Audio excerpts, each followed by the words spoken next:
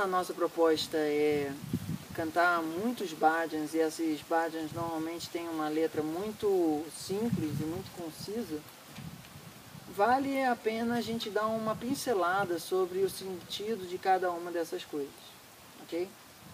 Muitas vezes, quando a gente sabe de um negócio, a gente fica pensando muito sobre ele. Muitas vezes, quando a gente não sabe o sentido daquilo, a gente também fica pensando muito sobre aquilo. Nosso propósito de falar um pouco sobre o sentido dessas letras é permitir que pessoas que ainda não tiveram um contato muito assim vivencial com aquilo dali possam saber que aquilo é simplesmente uma forma de modular a nossa mente em algum sentido. Ok? E ver. Se acontecer, aconteceu. Sem ter que, ah, agora eu vou cantar sílaba tal, isso vai estar gerando uma frequência tal na minha mente, não sei o que e tal. A proposta aqui é muito simples. É assim, você é, explicar para uma criança que está é, ouvindo pela primeira vez a musiquinha. Perdi meu anel no mar, não por... Tá, uma coisa assim de cantiga brasileira que a princípio toda criança minimamente tem contato. Você vai contando para ela qual é a historinha daquilo ali e ela fala, ah, tá bom, eu não preciso mais ficar perguntando aqui. Eu já entendi e vou só cantar, ok? Galera mais pita normalmente tem uma dificuldade maior de se entregar à vibração sem um, uma compreensão antes. Como tendência. Então, se esse é teu caso, aproveita para minimamente pescar algumas informações. Se esse não é teu caso, cara, fica olhando pro passarinho, sabe? Tipo, olha para a vaquinha que apareceu ali, fica de boa, ok? Então vamos começar? Quais são as, as palavras assim que normalmente a gente mais é, conhece dentro desse mundo dos mantras? Vamos começar pelas palavras. Alguma sugestão? Om. Mais quem? Sharanam. Sharanam. Mais quem? Ganesha. Ganesha. Shivaya. Shivaya. Shivaya. Shanti, Shanti. Namo, Namo. Shambho. Bhagavate. Oi? Shambho. Shambho. Shanti. Deva. Pode falar, gente. Jaya. Jaya. Hare. Hare. Krishna. Radhe. Mais alguma coisa aí que a gente lembra agora, assim, de início? Vishnu. Guru. Brahma, Brahma. Aí a galera vai começar a passar todos os bhajans. Bhagavate, Vasudevaya. A gente vai dar uma olhada em cada um desses bhajans, mas a ideia é que, assim, tudo que é no universo, essa é uma explicação bem legal, tá? Ele é um origami sonoro. Anota aí essa expressão, vale, vai usar, hein? Origami sonoro. O que, que isso significa? Dentro da perspectiva da cultura védica, existe um princípio de condensar energia de uma forma não material em energia material, ok? Isso se dá através do som. Antes do som, não existe nenhuma forma de energia que a gente consegue conhecer, que a gente consegue ter contato através do, da nossa mente. A ideia básica do, da cultura védica é que assim, antes de existir o Big Bang, existia alguma coisa já. Essa alguma coisa é uma, um princípio de consciência num estado muito é, que os nossos instrumentos não conseguem diagnosticar bem. Que nem antigamente a gente não tinha microscópio e não conseguia ver algumas coisas. Hoje em dia a gente ainda não tem uma, um padrão de sutilização da mensuração que consegue alcançar níveis mais sutis da matéria, ok? E nesse nível mais sutil da matéria, antes do que a gente consegue imaginar como sendo o Big Bang, existia um princípio de consciência é, que a gente hoje em dia talvez chama de matéria escura, energia escura, desculpa, ok? E essa energia escura, ele é um princípio ativo de consciência, só que a gente só consegue ver a partir de uma conta no negativo. Como é que os físicos sabem hoje em dia que tem essa energia escura? Eles falam, olha, tem um monte de lei que funciona dessa forma e que para isso funcionar a gente precisa botar uma outra coisa do lado da conta para que tudo fique igual, ok? É por imputação, não é porque por observação, ok? A cultura védica fazia a mesma coisa, só que ela fazia através de uma maneira sensitiva e não de uma maneira matemática. Certo? Mas chega um determinado momento onde a sua mente não consegue mais vivenciar aquilo. Você só consegue fechar o modelo como um todo a partir de um, um artifício, que na nossa cultura é através da matemática. Que. A gente valida um treco como científico a partir dessa forma. Na cultura védica, não. Se você entra num estado meditativo e você vivencia aquilo, aquilo já é válido, aquilo já é verdadeiro. Porque dentro da cultura védica não existe nada que seja objetivo, tudo é subjetivo e quando a gente, assim, quer gerar uma convenção, a gente chama aquilo de objetivo, realidade ou qualquer coisa assim, mas dentro da cultura védica isso não existe, nada que seja de fato real fora a nossa experiência subjetiva, ok? Então, o universo, antes dele se manifestar de uma maneira que a gente pudesse chamar de objetiva, ele estava numa num ovo dourado, como é que é a expressão dele. Que é muito próximo do que a gente descreve de Big Bang. Ele é um princípio de atividade que ainda não se manifestou e ali começa a ter um primeiro giro. Ele começa a sair de um primeiro estado de repouso absoluto e esse primeiro giro se chama expander. A ideia é que antes dele explodir, buf, ele foi criando uma energia ali dentro como se você estivesse gerando um redemoinho, ok? Aquilo foi girando, girando, girando, girando, girando, girando. O expanda foi acontecendo e depois ele rompe aquela casca e quando rompe essa casca sai o on. Ok? O on é como se fosse assim um, um barulho que o carro faz quando ele liga. Quando o carro liga, ele faz um barulho específico. O que, que significa? É o barulho que é de acordo com aquele padrão de frequência, certo? E para a cultura védica, o som que faz no início disso tudo é on. Certo? Até aí tudo bem. Ok?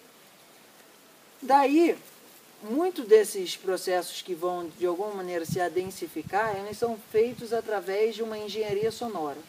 Ou seja, você quer manifestar alguma coisa que seja mais relacionada a ímpeto ou criação, vai sair um som GAN.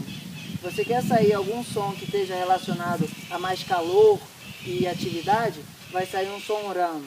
Você quer sair um som é, que tenha mais a ver com é, mensuração, vai sair um som K. Cada uma dessas coisas vai ter uma propriedade e todas as propriedades vão ser, vão ser existidas a partir de, uma, de, um, de um padrão sonoro. Ok? E aí a cultura védica é o estudo de como você é, dá conta da psique humana em todos os seus aspectos da maneira mais reduzida possível. Ok?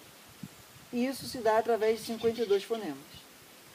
A cultura védica entende que a nossa psicologia ela consegue ser plenamente atendida em todos os aspectos que você precisar com 52 fonemas combinados, que nos formam alfabeto.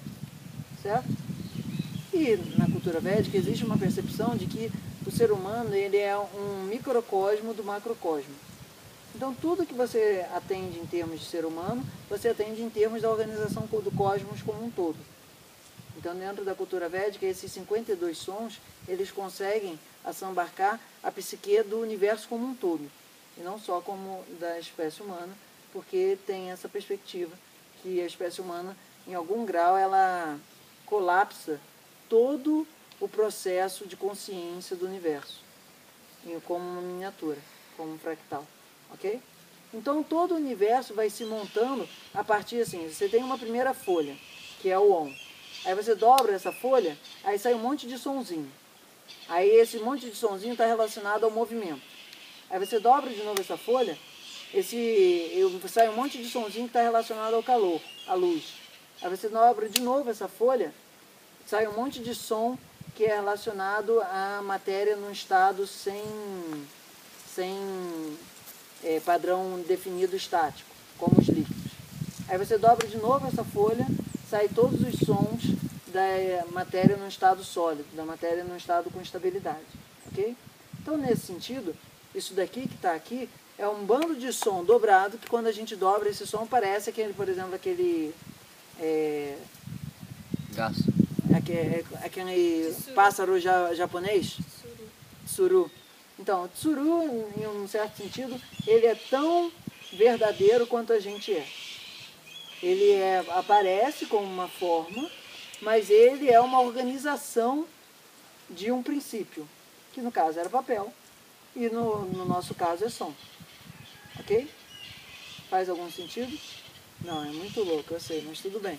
Vamos assim só assumir que isso é possível em algum grau para experimentar isso.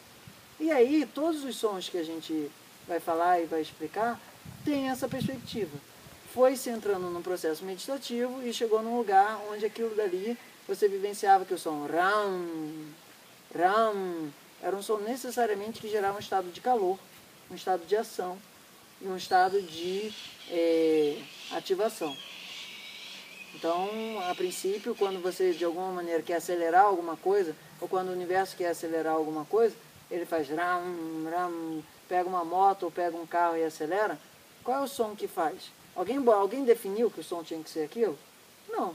Isso é um som natural que o universo faz. Qual é o som da água?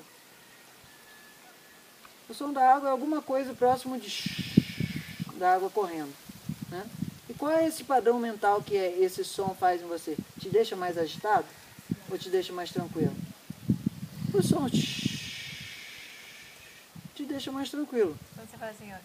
É, o som boom. O som boom é uma coisa que você vai botar o neném para dormir e você faz boom, boom, boom, boom.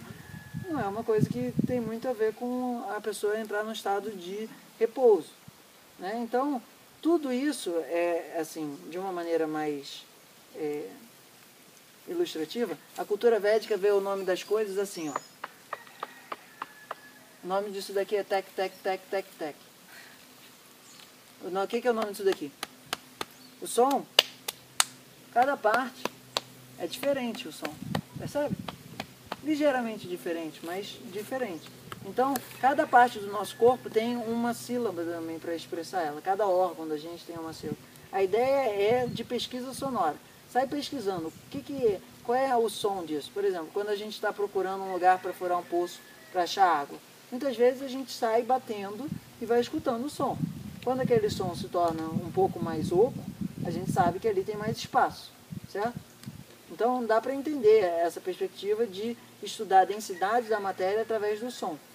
Ok? Minimamente claro. Vocês vão ver que os sons que a gente vai usar aqui hoje não são muito variados. E eles têm um principal componente de fazer com que a nossa mente fique mais em contato com o divino. Em contato com o divino numa forma mais é, amorosa, numa forma do divino mais grata, numa forma do divino mais dançante, numa forma do divino mais é, travessa, numa forma do divino mais o que é que seja. Ok? Ok. Ótimo. Então olha o som que está fazendo. Como é que vocês descrevem esse som?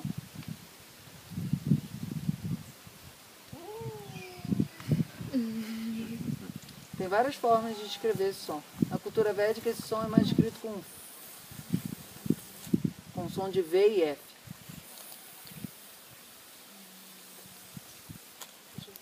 O som é um som mais para mais para frente, o som é um som mais para cima.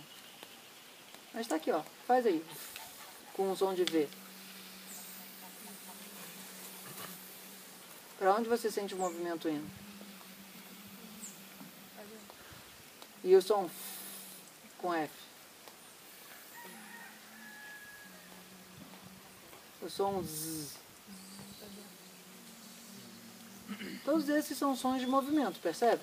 Mas eles ativam áreas um pouquinho diferentes. Um você sente mais aqui, outro você sente mais aqui, outro você sente mais aqui. E a cultura védica, assim, está gravando esse? No momento em que a gente começa a ter uma capacidade muito grande de autoobservação, qualquer micro diferença, se a língua foi para o dente, ou se foi para o céu da boca, ou se o som está mais na garganta, ou se o som está mais aqui ou ali, tudo isso está gerando um estado diferente na nossa mente. Todo mundo acha que é estritamente igual cantar parabéns para você ou Happy Birthday to You? Todo mundo sente que o som não tem a menor diferença nessa história? O som ele é secundário em relação ao sentido? A nossa linguística diz que o som ele é relativamente secundário sobre o sentido. A cultura védica, isso não, não é muito uma verdade. O sentido, ele muitas vezes ele, ele, é, ele é sem importância, mais que secundário. Ele é sem importância diante de um. E aí, som. curtiu? Manda um e-mail que a gente já já entra em contato para te avisar a próxima data. Namastê!